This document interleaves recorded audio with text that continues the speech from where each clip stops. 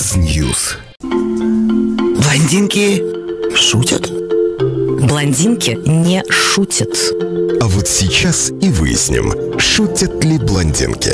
В эту пятницу, 19 июля, в 18 часов, в нашей студии Москва Тротуар. и Питер. Поребрик. Профессор Елена Лукьянова, Водолазка. журналист Гюля Писпанен. Бадлон. Спорные темы, противоположное мнение. Батон. Булка. Блондинки не шутят. На радио Болтком по пятницам после шести вечера. Тема программы «Мода». Что это? Твой личный выбор или навязывание стереотипов? Как мода влияет на экономику и судьбы людей? Мода – инструмент в карьере или способ самовыражения? Добрый вечер. В студии Елена Лукьянова. И Кили Писпани. А Сегодня мы говорим а, о девочковом. Это так приятно. Мальчики тоже да, послушайте, потому что говорить мы будем о девочковом применимо к большому взрослому миру. О том, что такое мода, твой личный выбор или навязывание стереотипов, как мода влияет на экономику, на судьбу людей. А, э, Мода – это инструмент в карьере или способ самовыражения для вас. Мы запустили опрос а, на сайте Болтком, можно проголосовать. Я слежу за модными тенденциями, стараюсь им следовать, или я считаю, что все это навязанные нам стереотипы, и мне абсолютно наплевать, что на мне надето. А, Пожалуйста, позвоните нам, если у вас есть свое мнение по этому поводу. 672 12939, 672 13939. Разбираться в столь нелегком, но столь приятном вопросе нам сегодня будут наши эксперты. Блондинки, вы не поверите, мы только так подбираем наших экспертов. А, У нас в студии сегодня модельер Юлия Васильева. Прекрасная. Поверьте, это радио, но поверьте мне, это очень красивая женщина. И не менее красивая женщина с нами по скайпу, стилист Светлана Токарева. Света, привет. Добрый вечер. А, в мода, принято считать, что мода поддерживает два основных устремления.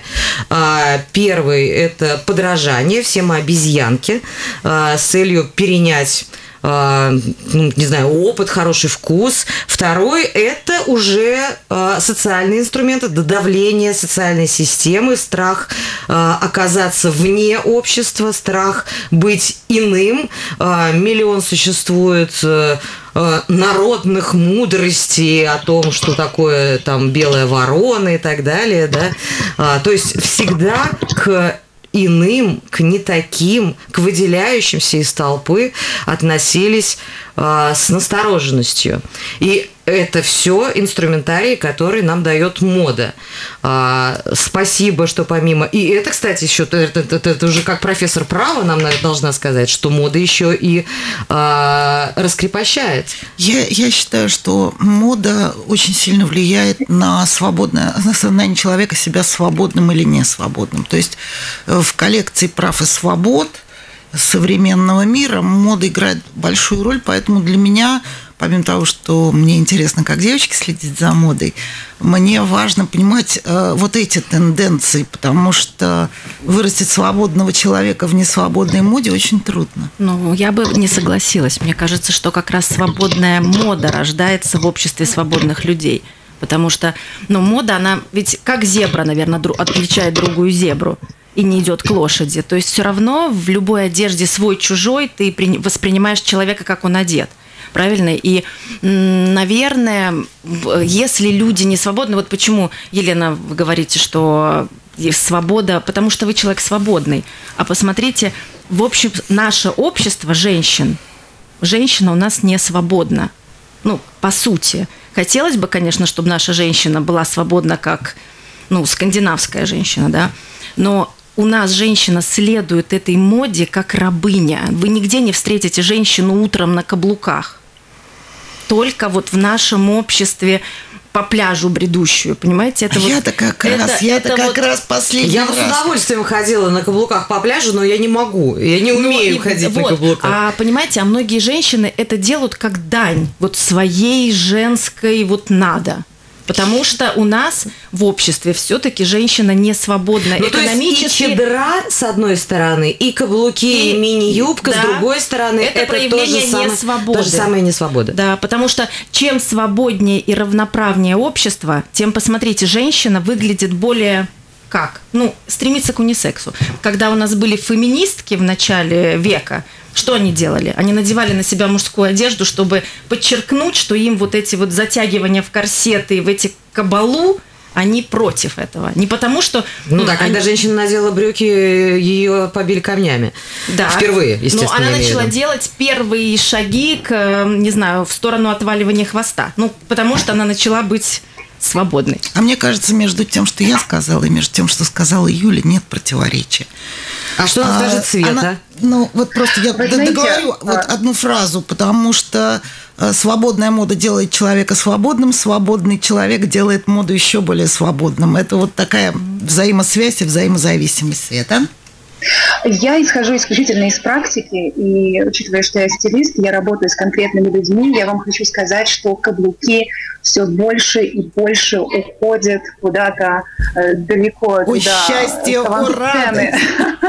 С авансцены туда далеко на балкон, потому что э, девушки понимают, что они хотят готовы бы были носить каблуки, но наш динамичный образ жизни, особенно если ты живешь в большом быстром городе и тебе нужно многое успевать, эта данность вносит коррективы в твой стиль и образ жизни. Все начинают, большинство, переходить на плоский ход, потому что спорт незримо, и он просто необходимо входит в нашу жизнь и вносит свои коррективы. Сколько бы это ни было сексуально, сколько бы это ни было красиво, э, женщины э, начинают, э, оставляют каблуки только в сфере свиданий. А, Меня слышно? Да, да, конечно. А, в, ну, вот в, в этом сегменте свиданий, походов в театр, ну не в театр, сейчас видим с вами совершенно другой дресс-код.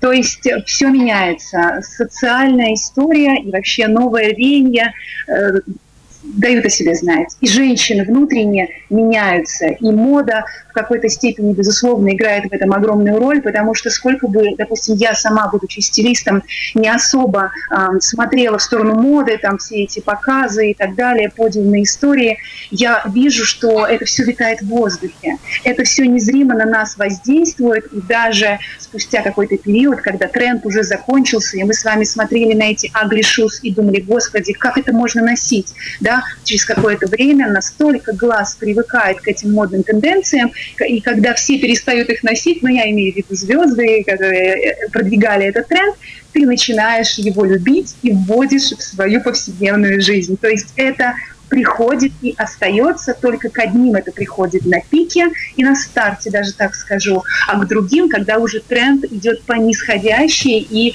собственно, приходит в массы. Да? Массы начинают носить моду, когда она уже не мода, когда это уже данность. Так, Юль? Масс-маркет, да. Ну, Естественно, он на этом и держится, наверное, все-таки. Да, и потом я думаю, что, опять же, мода, да, наверное, мода, она вот в понятии такой моды, она больше живет для молодежи. То есть вот когда Ну, вот хочется знаете что? моды, и, и- но вот это вот, очень- мне кажется, очень большая э, ошибка, э, которую начали в последнее время исправлять. Появились возрастные модели на подиуме, Это появились да. возрастные модели на обложках глянцевых журналов. Наконец-то, вспомните, э, в, господи, забыла расселение, да, с которой сначала разорвали контракт, какая-то косметическая фирма, не помню, какая, не будем ее шеймить, окей, так и быть, за то, что она старенькая стала, что это у нее морщины какие-то появились, но через 10 лет одумалась и сказала, ой, а у нас, оказывается, вот это вот наши бабушки-то, которые, они, они же бывшие девушки. Ну да, и они им же продолжительность жизни увеличивается. Конечно, и да. продолжительность жизни увеличилась. А, про- в- то есть крем-то теперь делают для бабушек, а одежду для бабушек до сих пор так и не научились Ну, делать интересную. бабушки уже а бабушки-то тоже уже- другие. Ну. Подождите. Раньше в 45 лет женщина выглядела а, как старушка. Лет 45. Лет 45, да, прибитая а, к земле. С, ну, я прекрасно помню свою бабушку, которая, в общем, выглядела очень плохо. Сейчас, ну, простите, мне 45, а, я не считаю, что я выгляжу на бабушку. Ну нет. Ну да. Ну так в том-то и дело. Так я и не хочу пойти, знаете ли, в магазин э, Марти Спенсер, прекрасный, кстати, магазин, но там вот только все такое бабушкиное. А я хочу... Уже нет. Ну, нет, все есть там э, в, в определенных тенденциях, главное это видеть и найти. Но в целом я вам хочу но это сказать, надо я бегать и найти свет. за Это тоже не так просто. Это надо, да, это нужно видеть, безусловно. Обычно как? Ты приходишь с клиентами, и он говорит, она говорит, я этого без вас бы не увидела. Это шаблонность мышления, вот и все. Просто ты привыкаешь носить определенные вещи, и ты их замечаешь, всего остального как-то мимо тебя происходит, да, это. Вот, но я хочу сказать про моду. А, вот вы говорите только молодежь. Я Нет, я, не я, я, мне не дали закончить. Она как бы а, получается, а, что рождается она, ну вот как бы изначально как цветок распускается для молодежи, а молодежь это самый эм, губка, которая вот именно это готова потреблять, но молодежь очень этого хочет, знает, куда носить, у нее как бы жизнь кипит, бурлит, но у них нет денег. А потом да. получается другой момент, когда люди уже, ну там, э, скажем, 30 плюс, да, вот там подходим к 40, мы уже имеем чувство стиля, мы уже понимаем, что нам подходит, у нас есть деньги, и мы Но уже, мы уже я, не умеем того тела. Мы, во-первых, а, не умеем того тела, б, мы уже не так много куда ходим. Понимаете? Да. И, и начинаем покупать эту моду, потому что нам нравится, но покупаем мы ее зачастую в шкаф.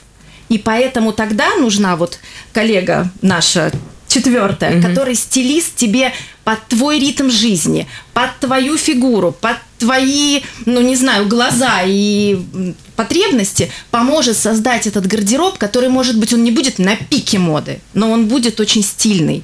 В зависимости даже от твоей профессии. Ну, кто ты? Ну. Вы знаете, я хочу добавить а, молодежь, молодежи рознь. Вот я сейчас замечаю ну, молодежь бывает разного возраста. Да, мы говорим с вами про тинейджеров, или мы с вами говорим про тех, кому от 18. Это тоже молодежь. Uh-huh.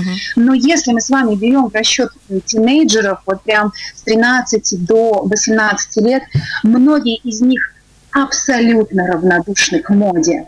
На них смотришь и думаешь, пугало огородное, потому что они носят тот самый оверсайз, который многие вообще не воспринимают, а они в этом ощущают свободу, да? Угу. То есть оверсайз, он, он уже настолько э, красной нитью проходит через все, вопрос, как ты его носишь. Но у них грубые кроссовки, у них кюлоты широченные, и у них оверсайз вверх. Все, больше им ничего не надо. Они абсолютно иначе заточены. Они не про сексуальность, они не про женственность. Они приходят, они придут к этому, но позже. намного позже, да. чем, допустим, девочки в регионах, которым в 16 лет крайне важно выглядеть так, чтобы их взяли замуж. А это про женскую а вот это, не свободу. А это про свободу как раз, Света. Вот я как раз хочу это отметить из личного примера, потому что у меня старшей дочке 28, и она, кажется, впервые надела юбку в 25 лет. До этого вот. она носила только исключительно черные джинсы, кеды и худи какой-нибудь. Все. Такой протест, мне кажется, Оля, да? Это своего рода тоже через черный Нет, цвет. это не протест абсолютно. Нет? Абсолютно. Ей просто пофиг. Вот а, ей пофиг, просто да. пофиг, как она выглядит. Она очень красивая девочка. Вот, поэтому вот. ей и пофиг. Да, с потрясающей фигурой. И, конечно же, на ней смотрится все, как на абсолютно идеальной манекенщице. Но но ей абсолютно наплевать на одежду. Она никак, я ее заставляю все время хоть что-нибудь себе купить. Она только, я говорю, лет только в 25 она впервые надела юбку. И выяснилось, что у нее длинные красивые ноги. Мне кажется, мы с вами подходим к той самой теме про инструменты в карьере и способ самовыражения. Вот когда человеку, у него есть цель и задача продвинуться по карьере, и он это четко понимает, то здесь уже стиль и внешний вид играет очень важную роль. В Москве абсолютно точно. Если ты хочешь быстрее пройти путь, э, преодолеть там определенные ступени, да, это как у нас э, интернет-игра. Вот мужчины, мужчины в основном играют в эти танks, в эти войнушки, когда ты заходишь голым, да, и чтобы подняться на определенные уровни, ты должен обрасти атрибутику, ты должен там э, меч-кладенец, там, я не знаю, какой-то э, шлем космический приобрести, там какие-то, я не знаю, латы, чтобы выиграть эту войну. Вот точно та же история играет, ну, э, происходит в карьере. Если ты хочешь быстрее продвинуться на уровень, ты должен обрасти стильными латами. Тогда а это касается пойдет... и женщин, и мужчин? Да, абсолютно. Есть, есть а, Но кредит это, это какие-то стереотипные, клишированные вещи. Ну, то есть там А. женщина в бизнесе должна обязательно быть в костюме, в, в- да, в- по- юбка не, не, не выше колена, а, затянутые в волосы в пучок, обязательно очки, не знаю, и, и шпильки при этом. Это такой банковский сектор, Оля, да, ты сейчас называешь. Но если вот, допустим, недавно мне звонили с юридической компании, они говорят, Светлана, у нас юристы, и у них есть определенный дресс-код. И вроде бы они это понимают. Но у нас начали юристы ходить в футболках со, со стразами. Вот вы сейчас нарисуйте себе в голове образ юриста. Вот, вот, вот, я тут сижу, вот я сижу, юрист, адвокат, слушаю вас и, и чудовищно ненавижу весь тот дресс-код, о котором вы говорите. У меня никогда его не было. Я достаточно успешный юрист и, наверное, один из самых звонких российских юристов. Ну вот как-то вот я, Я я, да, я- вижу своих коллег, да, я вижу своих коллег, женщин, вот так одетых с определенными часами, браслетами, а, бижутерией, блузками, и, и- и- и не понимаю, а вот это вот не, ну никак не говорит об их успешности, ну нет. Здесь такой 3D-формат. Мы же с вами понимаем харизма, знания, компетенции и внешний вид. Потому что есть кредит доверия, когда вы видите человека и понимаете, что он в том формате, как вы понимаете, должен выглядеть юрист. Дальше работает другая история. Но вот это преодоление... Надо да, формат менять, формат взгляда, менять надо, не нужно нам это. Я с вами, понимаете, это все легко говорить, как обычно говорят. Ну как IT-сектор, а как же а, у нас, а, как его товарищ этого прекрасного зовут? А, Цукерберг, да? Но как бы вы ни смотрели на Цукерберга в серой футболке, мы понимаем, что на переговоры он наденет костюм, чтобы соответствовать, и, ну, по крайней мере, на старте, когда он развивал свой бизнес, ему нужны были инвестиции. Вы с этим согласны? Как же Да. я ненавижу Нет, протокольную люди одежду. потом, когда они вырастают уже до определенного уровня, они Ну, то могут есть, позволить давайте себе скажем так. Цукерберг может себе позволить Да. ходить в джинсах и футболке. Лукьянова Уже тоже. да. Да, уже. Ну, или на Лукьянова, окей. А там, ну, окей, хорошо, существует там, да, какой-то корпоративный стиль, там, ну, не знаю, банковские служащие, конечно же, должны ходить, наверное, хотя я не знаю, почему банковские служащие не могут ходить в джинсах и в футболке В тоже. Сбербанке нет. Ну, нет, я понимаю, что я, я, я, я нигде Это, практически в видимо, банке. уважение к чужим деньгам. Ну, я в прошлом году я быть. себя И, не знаю, освободила. стюардессы, там, да, люди, которые тебе помогают, да, в сфере обслуживания, а у них, конечно, должна быть какая-то выделяющаяся одежда для того, чтобы их сразу заметить, да, полиция, там, не знаю, официант, э, там, врач. Не, да. ну, и, А давайте например, поговорим одежда, она тоже собирает. Ну как, то есть если ты пришел в вытянут, ну, там, в трениках с вытянутыми коленями на работу, ну ты так удобно сел и с кофейком заснул за этим столом. А, считается, если что ты- как раз это новая реальность, что как раз-таки, вон, посмотрите на офис Гугла, да? Да, ну Или вот- теперь Яндекса, того же самого Вот. в Москве. А это свобода уже. где уже, да. где уже свобода Сектор выбора. Это, это сектор, это люди, айтишники, которые сломали дресс-код. Подождите, я в прошлом году тоже сломала дресс-код в Вы высшей школе экономики. Я, я купила джинсы, белые рубашки, белые кроссовки. К студентам стала ходить в таком виде.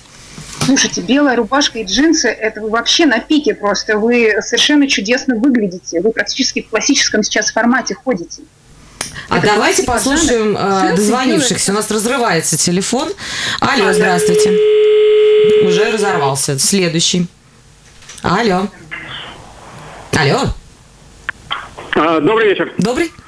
А, Вот, э, как всегда интересно, когда бурное обсуждение очевидных вещей. Вот как-то всегда так вот на этих стыках, там, на периферии. Вот, госпожа, госпожа Лукьянова, я так сразу провокационно, потому что мы, если я буду общаться, мы с вами поссоримся. Вот трамплин, с которого вы прыгнули, фамилия, это ничего не значит. То есть вы без дресс-кода ходили бы, добились того же самого. Вы умная женщина, умнейшая, это понятно. Но зачем идти против очевидного? Вы знаете, когда я человек, начинала который- свою карьеру, одежды в принципе не было.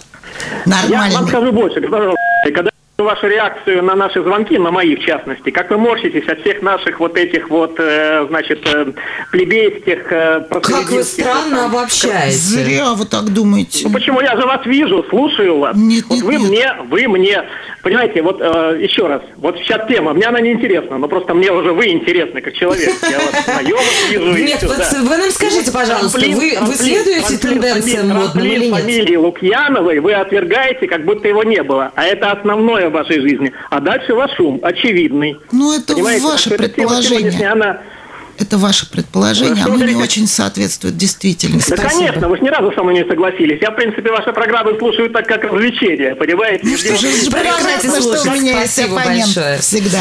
Да, так мы не узнали все-таки, наш слушатель придерживается тенденций модных или только придерживается обязательного включения радиоприемника радио Болтком в пятницу в 6 вечера, чтобы посмотреть, как. Лена Лукьянова послушает его звонок. Спасибо вам огромное.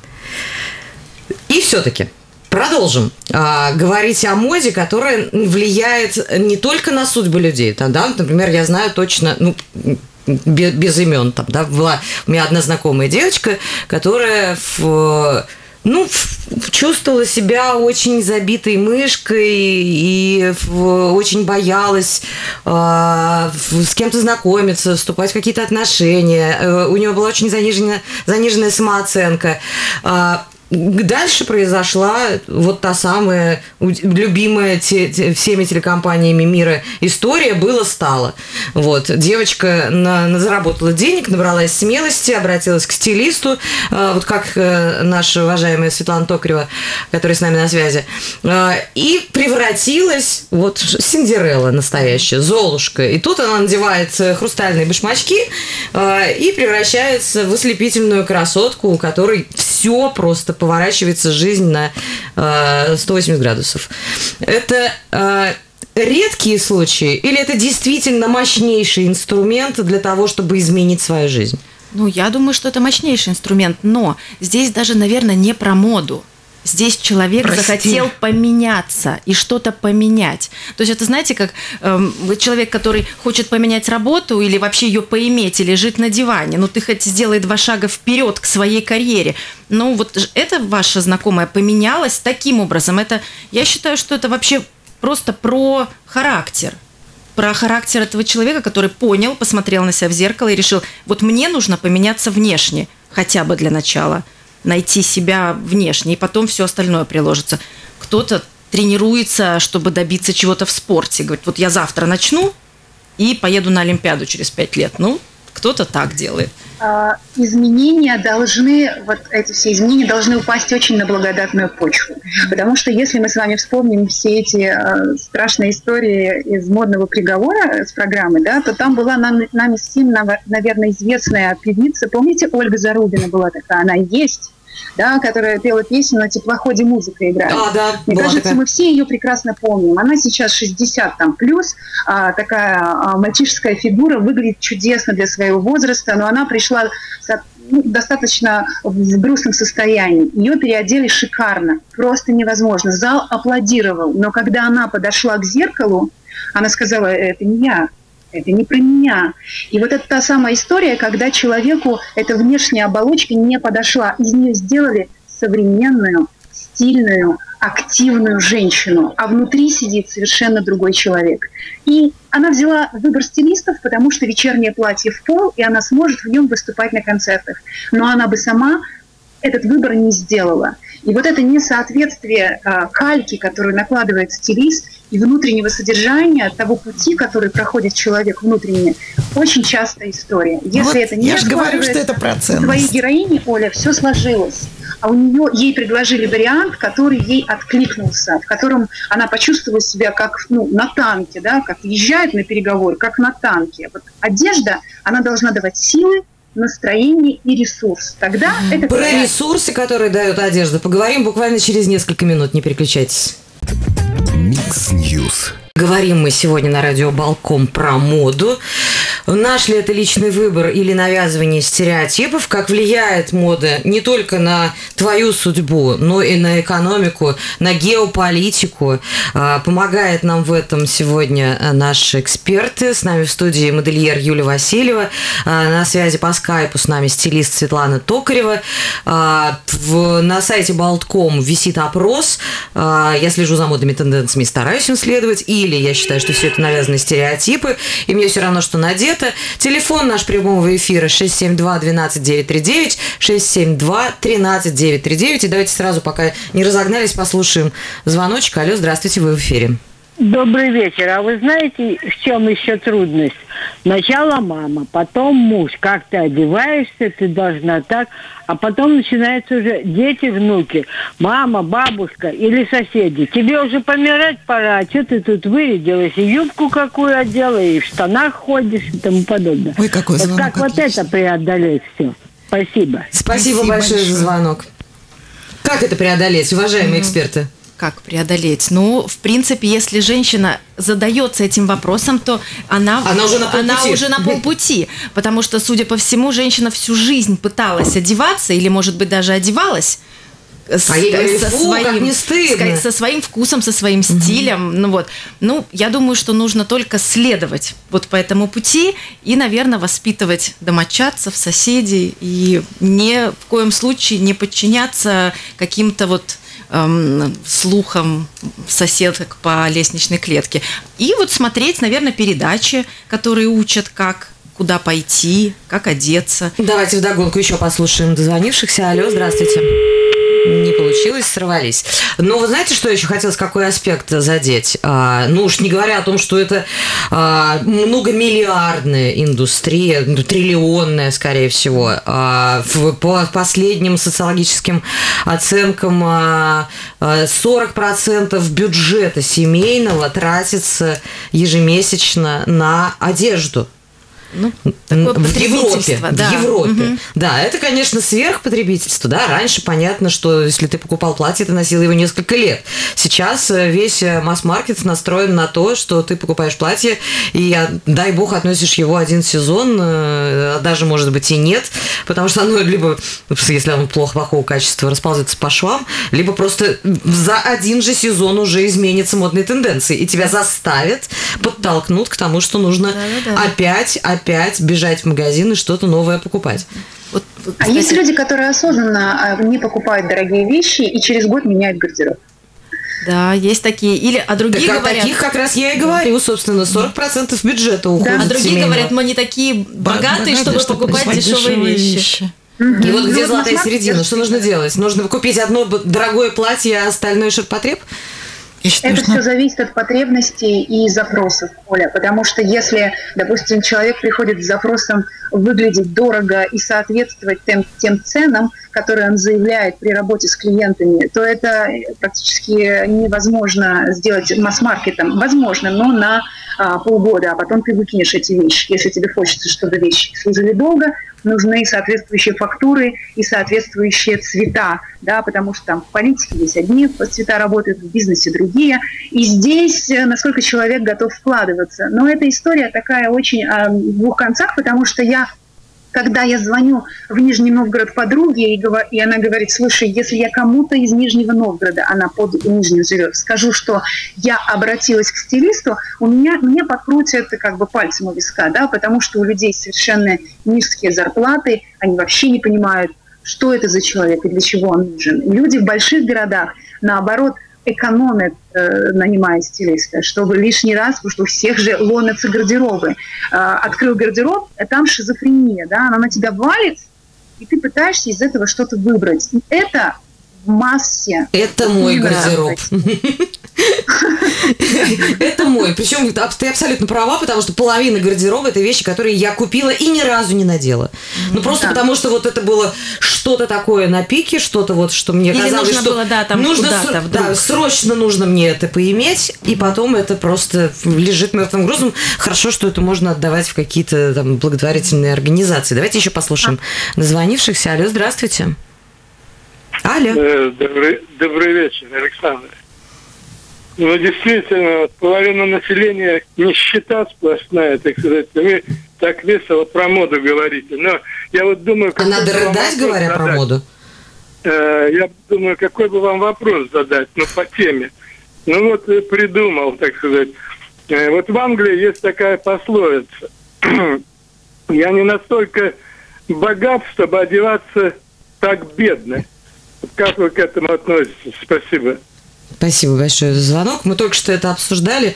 Видимо, пока вы обдумывали Ну, вопрос. Может быть, эм, прослушали. э, э, слушатель имел в виду, знаете, этот такие есть англичане, которые вот они вот почему-то мне тоже вот англичанин перед глазами. Он у- будет идти в чистых туфлях, но они будут уже достаточно м, Пожившими. пожившие, да. И даже это определенный, ну вот стиль. Эти туфли сделаны вручную, они живут, они еще хорошие, у них не, от- не отклеивается подошва, и он не собирается это выбрасывать. На нем э, хороший кашемировый пиджак, но он м, купил его тоже 10 лет назад, но он пре- прекрасно сидит, ткань не проносилась. Но это, кстати, удел достаточно состоятельных людей, потому что они могут позволить себе вот купить такой Действительно дорогой, хорошие, дорогие да, вещи, которые да. живут Долго, годами, годами, годами. И это уже даже становится красивым. Вот этот э, портфель, как у Жванецкого, например, из Да-да-да. такой хорошей кожи. Ну, и он живет долго.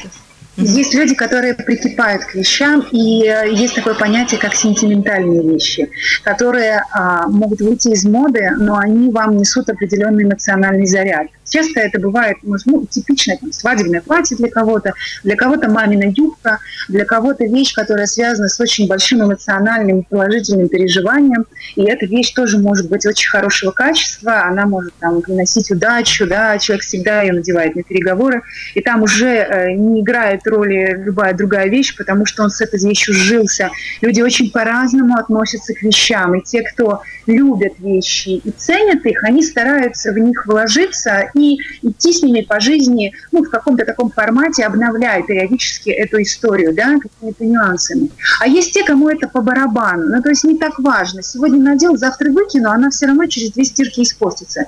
Это вопрос отношения и проживания жизни. У всех э, по-своему это происходит. Я бы все-таки добавила, что огромная связь. Мне очень нравится современная мода, потому что она соответствует моим правовым политическим воззрениям. Она демократична. Ты, во-первых, э, у тебя абсолютный выбор. Ты можешь одеть все, что ты хочешь. Длинную юбку, короткую юбку. Хочешь каблуки, но уже совсем как бы на полке.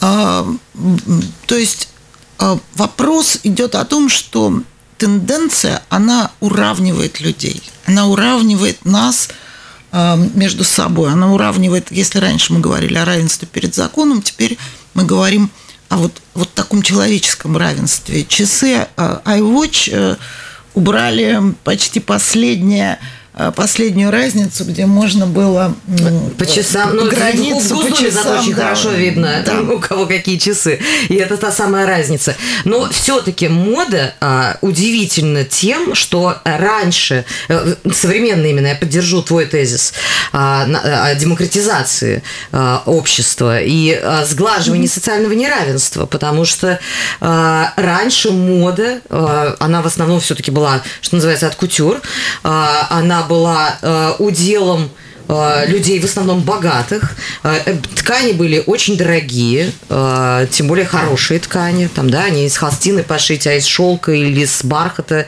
себе платье, и не одно. Э, Это же полцарства продать надо. Вот. э, Таким образом двигалась э, индустриализация, таким образом развивались целые области экономики, э, сопутствующей моде, да, и полиграфия, и э, принты, и новые ткани, и м, спасибо Зингеру великому, который э, еще более удешевил моду, создав машинку, э, переведя это в машинную э, индустрию, а не в ручной труд. А Сейчас мода из-за того, что она стала демократичной, она даже уже привлекает... э, Вы, наверное, знаете, как э, модельер и стилист, знаете, что очень серьезные трудности в последнее время постигли большие модные дома. А, Никто не хочет покупать одежду от кутюр. Никто не хочет тратить по несколько тысяч долларов а, за юбку. А, И домой, они пошли в коллаборацию с масс-маркетом. И это их, это им тоже вдохнуло новую э, жилу, новую струю. А, это, это позволяет им, а, что называется, демократизироваться. Ну, потому что сейчас век Заставляет. Да, настолько все доступно, век информации. Ты не, если раньше ты действительно э, от кутюр мода это было что-то такое недоступное, такое красивое, но недосягаемое, да, и человек, который надевал это платье, женщина, она была уникальна. Сейчас платье сегодня еще не, не только нарисовал дизайнер, его уже знают, какое оно будет, какими швами сшито и где что будет, там, не знаю, какая пуговичка через сколько сантиметров от другой. И тут же вот эти другие масс-магазины. Это копируют, и ты можешь купить то же самое за абсолютно другие Я знаю, что на первых по- показах от кутюр запрещено было фотографировать и Да. зарисовывать силуэты, Да. чтобы не украли. Чем, конечно же, сейчас занимаются абсолютно все, воруя друг у друга, э, подтягивая любую идею. И еще это просто, из, э, что называется, из интересного исторического факта, жалко его пропустить будет и не рассказать. Э, В середине прошлого века появилась даже такая профессия, когда был очень большой бум, большой толчок модной индустрии, появилась такая профессия, как прогнозист моды.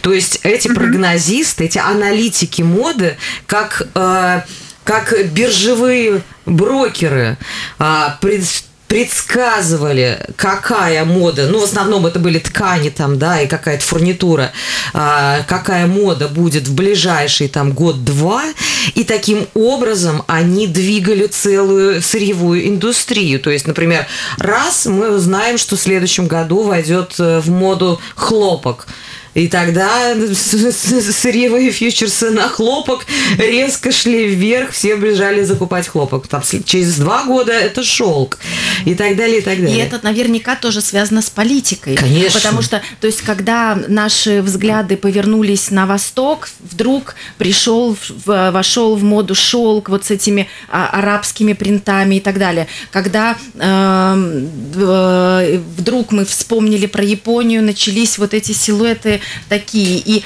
Кимоно. Э, мгм. Нет, на самом деле, а когда, наверное, Гагарин полетел в космос, вдруг мы вспомнили про нейлоны эти, ну, такие Да, да, да. ткани, Ну, ну. смотрите, есть тоже такой Капрон. исторический, Капрон, Да, капрон. исторический анекдот о том, как Наполеон э, отомстил Англии. Англия э, славилась, была очень сильной державой э, сырьевой э, в- по производству тканей хлопка и шерсти.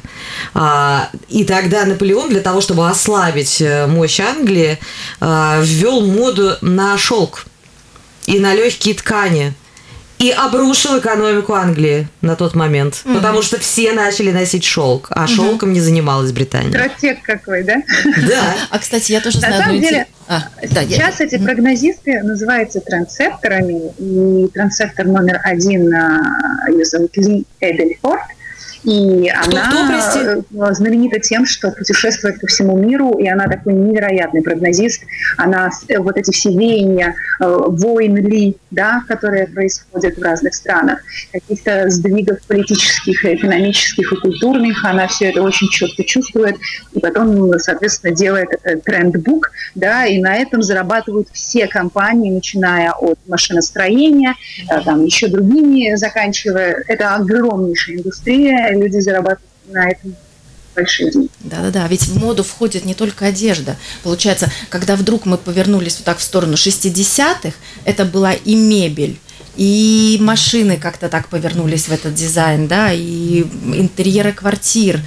Все, и даже там стрижки. Вот это да, действительно, это работает. Ну, то есть, нет, дело в том, что мода, вообще как объемное, общее понятие, она же окружает нас абсолютно во всем. Мода на архитектуру, Да. мода на собак, мода на кошек, мода на машины. На пластическую далее. хирургию. На пластическую хирургию, да. Вспомните, еще несколько лет назад все ходили с надутыми губами. Да. А сейчас они куда-то попадают. Они сдуваются и больше не надуваются. Ну, то есть, как бы, есть и хорошие новости. Уходят. Держат марку, да-да-да, сейчас уходят в другое направление.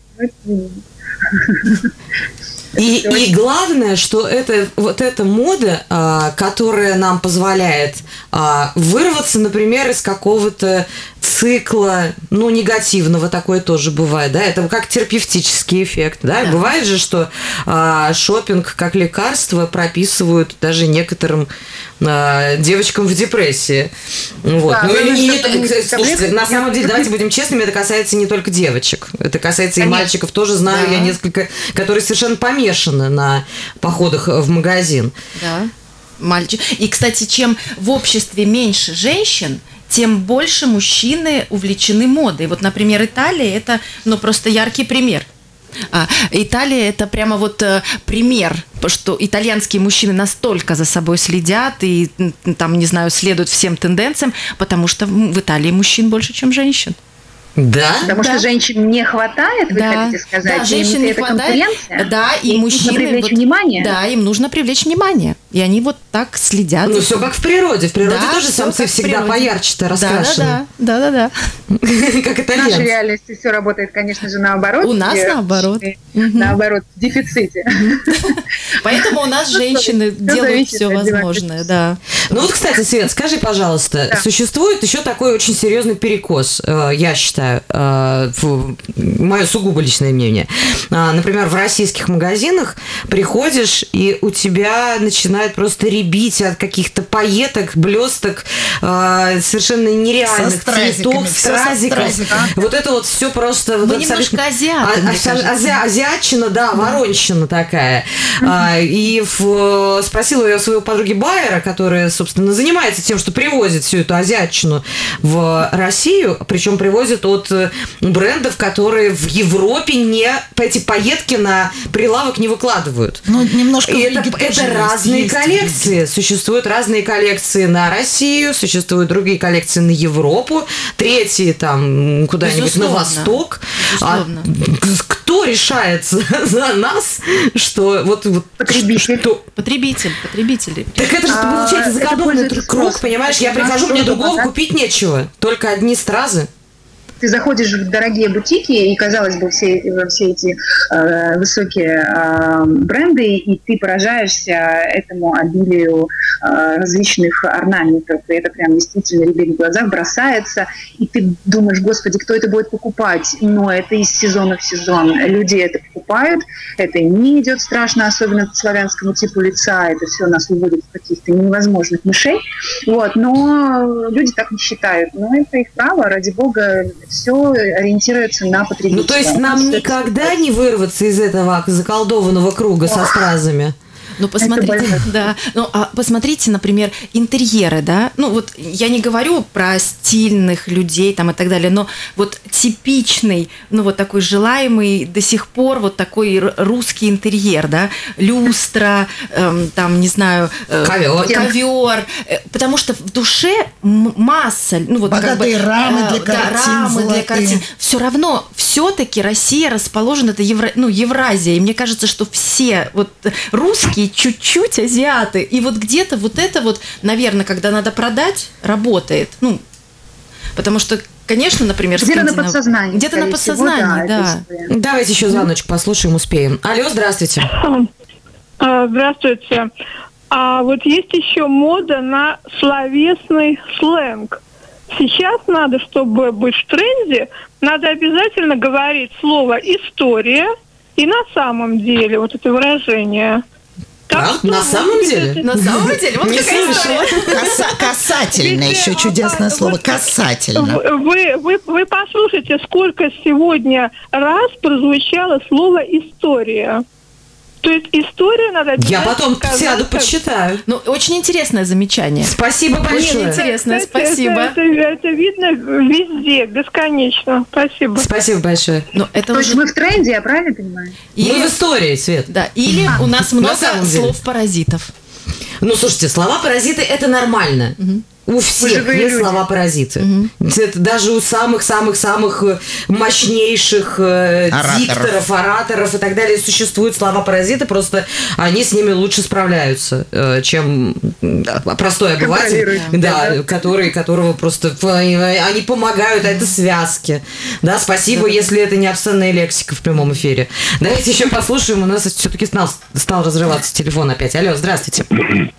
Добрый. Я думаю, что вы э, с точки зрения анализа и обсуждения моды не учли один очень существенный аргумент. География. Я не думаю, что в Италии 9 месяцев в году зима, э, и поэтому они могут позволить себе следить за собой и ходить в перышках и с маникюром. Но сложно ходить в перышках, когда на улице минус 40. А кто вас заставляет Так, ходить в, п- в перышках ну, минус 40 Нет, и ну, без маникюра? Наденьте шубу. Ну, я утрирую, да. Да-да-да. Понятно, что это... Равно- равно как но, очень не менее, неудобно. И по поводу, и по поводу блесток и азиатчины, опять же, возвращаемся к географии. В той же Франции, в Германии, ну, в Германии мы знаем, что это большая беда, но во Франции, допустим, или в Испании, женщина может ходить э, нарядная круглый год. Но сложно э, ходить нарядной в валенках и в оренбургском платке, поэтому... А у меня есть предназначены валенки, для оренбургский того- платок, и я их очень люблю. да, блестки э, популярны потому, что за тот короткий период, когда девушка может показать свою красоту, там за 3-4 месяца, погоды, когда она не ходит тулупе, в ушанке и в валенках, Нужно успеть да, выйти замуж. Ей надо, да, ей надо успеть обратить на себя внимание, выйти замуж, Да. одеть хомут на мужика и затащить его в стойло. Вот, Понимаете? Вот чем- А, а мужик, скажите, пожалуйста, а мужик должен э, э, выбирать, это модный какой-то хомут будет, или он будет не модный? Или вам Ну, наплевать на то, какой? моды, эм, касаемо, допустим, мужской моды, я приверженец старой доброй фразы э, советских и досоветских времен, что мужчина должен быть чуть симпатичнее обезьяны. и в чистом. Э, это, ну, и в чистом, да. Спасибо большое за ваше мнение. Давайте вдогонку сразу успеем еще один послушать. Алло, здравствуйте. Я второй раз, но вот женщина надавила на мозоль. Вот э, на самом деле отошло, история отошло. А почему наречие э, прямо, точно, именно все заменяют наречием ровно? Вот это я никак не могу понять. Я, кстати, звонил по этому поводу, и Лукьянова Это у нас будет следующая тема программы. Спасибо большое. Все-таки давайте не будем заниматься сейчас чистотой русского языка. Об этом поговорим, об этом поговорим в какой-то другой программе. Это, конечно, тоже очень интересно, но я совершенно не являюсь... Ну ладно, не буду себе... Уже, все, закрываю себе рот, закрываю. Давайте вернемся все-таки к моде.